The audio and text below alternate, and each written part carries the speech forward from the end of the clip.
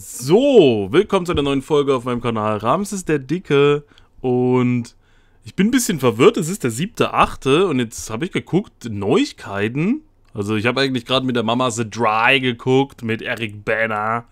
Wer den Film The Dry kennt, schreibt es mal in die Kommentare. Jetzt ist sie gerade in der Küche. Ich nutze die Chance und will kurz mal hier reingucken, was es für Neuigkeiten gibt.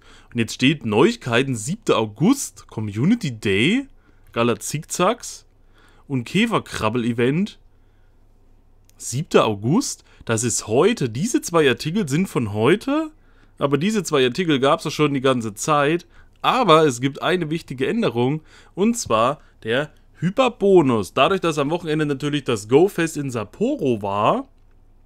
Und diese, ich glaube, da ging es um Feldforschungen die 10 Trilliarden Feldforschungen gemeinsam als Community geschafft wurden, ist natürlich auch für dieses Event, für diese Käferkrabbelei ein Hyperbonus freigeschalten. Und was das ist, möchte ich euch jetzt zeigen. Und gleichzeitig gibt es auch einen Hyperbonus für den Community Day. Die Käferkrabbelei, also das Käferkrabbelei-Event, startet ja am Mittwoch. Der Community Day ist am Samstag.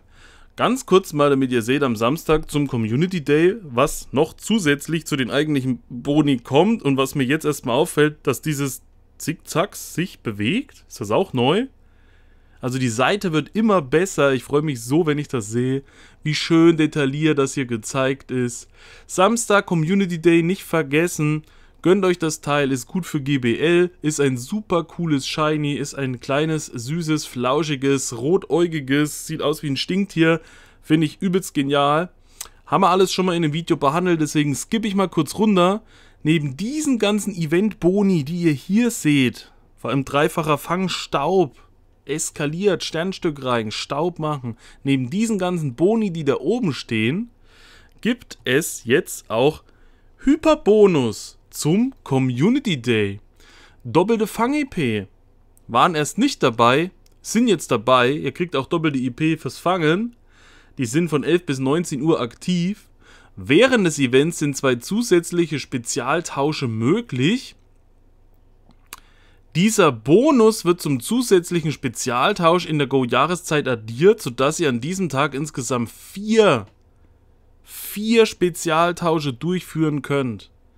Es gibt außerdem doppelte Verschickbonbons und das Tauschen kostet 75% weniger Sternenstaub.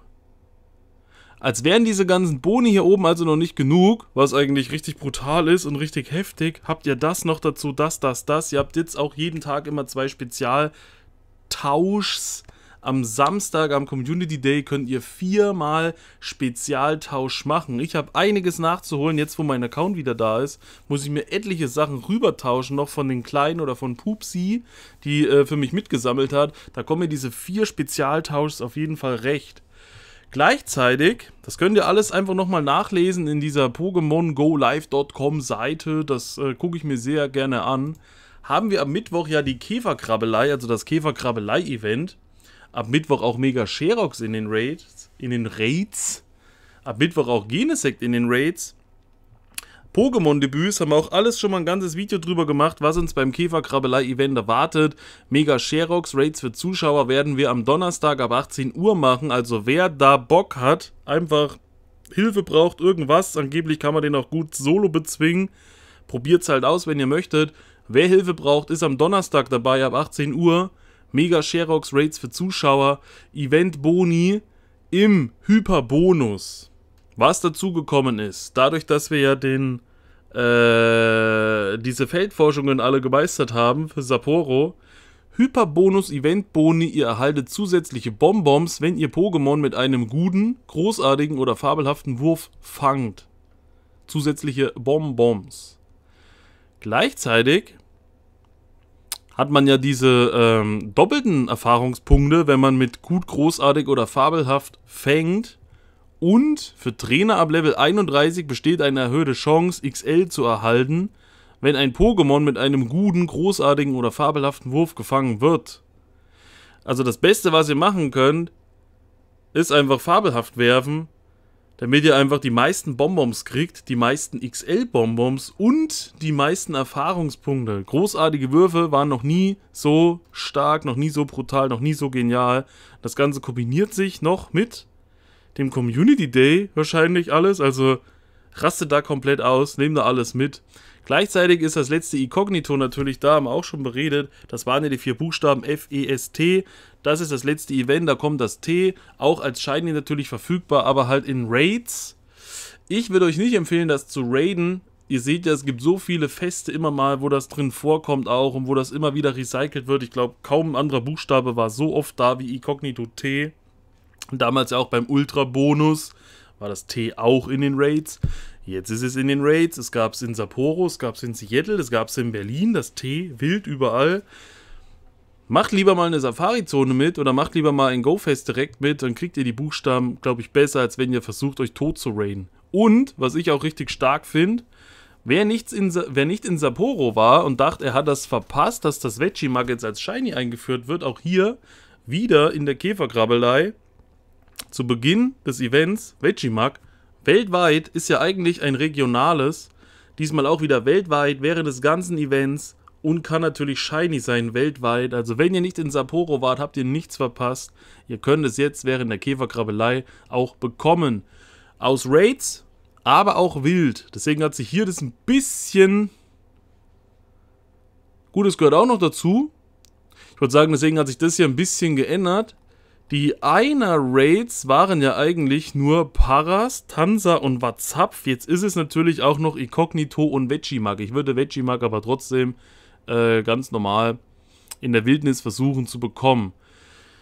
Genesec Raids sind auch schon angekündigt für Sonntag, weil Samstag ist ja der Community Day, also Sonntag Genesec Raids. Wer da Hilfe braucht, und das wird wahrscheinlich auch das einzige Mal sein, dass wir Genesec Raids für Zuschauer machen, nur am Sonntag, da kommen ja legendäre Raids, das ist ein mysteriöses trotzdem Mega Raids, Mega Sherox Donnerstag. Merkt euch das, das ist wirklich das nicht, dass einer sagt, wir wussten nicht wo, das ist auch alles schon angekündigt auf dem Kanal. Einfach mal auf den Kanal gucken, da seht ihr das alles. Und hier, auch hier sieht man, das Bild bewegt sich eine bewegte Animation. Niantic richtig genial. Sieht zwar komisch aus, aber richtig genial gleichzeitig. Und hier nochmal Hyperbonus befristete Forschung. Während des Events läuft eine befristete Forschung, bei der ihr viele Käfer-Pokémon fangen müsst. Für den Abschluss der Forschung winken Items, Mega-Energie für Sherox und Pokémon-Begegnungen. Ihr müsstet also wahrscheinlich noch nicht mal eine Mega-Raid machen, um ein Sherox zu Mega-Sherox zu entwickeln. Vielleicht reicht die Energie, die ihr aus dieser befristeten Forschung bekommt. Ihr müsst also keinen Pass dafür verschwenden. Und es ist immer noch komischerweise so, früher hat man Mega Raid gemacht und hat 200 Energie gebraucht, hat aber nur 70 oder so bekommen. Oder höchstens 90. Man musste also zwei bis drei Raids machen, damit man das überhaupt mal mega entwickeln kann. Jetzt wie die ganze Zeit gesehen, ihr macht einen einzigen Mega-Raid und bekommt schon 220 Energie für einen Mega-Raid, sodass ihr nach einem einzigen Mega-Raid das Pokémon schon mega entwickeln könnt. Und dann alle paar Tage kostenlos, das heißt, eigentlich muss niemand extrem viel Mega-Energie bunkern momentan und jetzt kriegt ihr die auch noch hier kann man auch mal Danke sagen, Niantic, dass die einen das jetzt alles so ermöglichen, man nicht zum Raiden gezwungen ist und wenn man raidet, dann nicht 1000 Raids machen muss, einer vielleicht reicht, man sich dann den Pokédex-Eintrag holt. Äh, Genesect wird eh nicht so interessant sein, aber Mega Sherox reicht eigentlich auch eins. Außer die Leute wollen natürlich das Shiny jagen, aber eigentlich kriegt man das bei Sichler. Sichler ist ja eh geboostet, aber das wird viel zu kompliziert, deswegen ich freue mich auf jeden Fall auf das Event. Mein Account ist wieder da. Ich freue mich auf das Event. Ich habe viele Sachen noch, die ich aufholen muss, viele Sachen und das werdet ihr sehen. Das war's von meiner Seite aus. Freut ihr euch auf das Event? Freut ihr euch auf den Z-Day? Was sagt ihr zu den Hyperboni? Lohnt sich das? Ist das nochmal eine schöne Auffrischung oder ist das Event euch komplett egal, davor und jetzt auch? Dann schreibt es mal in die Kommentare. Wir sehen uns beim nächsten Mal. Bis dahin, Peace out. Vorhaut, euer Ramses.